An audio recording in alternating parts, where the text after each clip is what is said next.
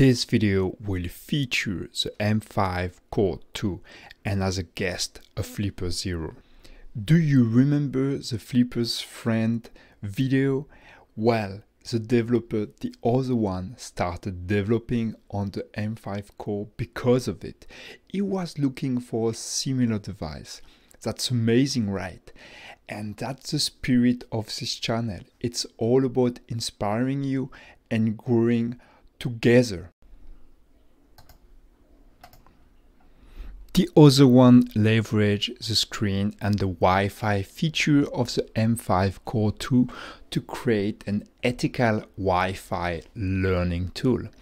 It's designed to execute a karma attack by using Wi-Fi probes and guiding the target to a rogue access point on the device itself. In this video, we will walk through the process of installing the firmware and exploring its feature and understanding the attack scenario in depth. And bonus, it's a flipper friend. So we will be able to interact with our beloved pet.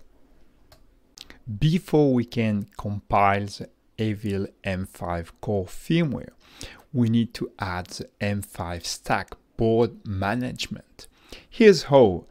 Go to File, then Preference, then Settings in your IDE and paste the M5 stack board management URL. You will find it in the video description below. Into the additional board manager URLs field. Next, you need to navigate to Tools, then Boards, then Board Manager, and type M5 in the search bar and hit enter. You should see M5 stack appear. Finish by clicking install. I spare you all the installation dependencies, but we are far from being finished. There is two more steps. First, let's specify the board.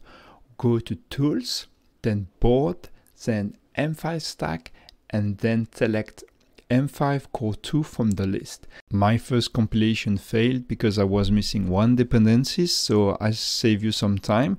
Click on the pile of book on the left and then type m5 unified.h and then hit install. I was too in a hurry and I click upload before even selecting a port to proceed. So for this ensure your M5 core is plugged and then go on the left corner and click on M5 core 2 and then on the bottom the list unknown and click it.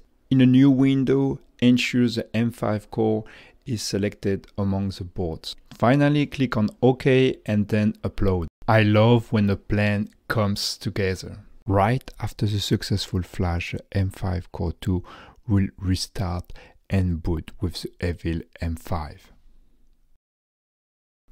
I am currently preparing for demonstration, but before that I plan to flash a Flipper dev board with the Evil Portal firmware. In addition, I have another dev board ready with the Marauder firmware. Both dev board will be useful for various attack scenarios. They will come in the second video, so stay tuned.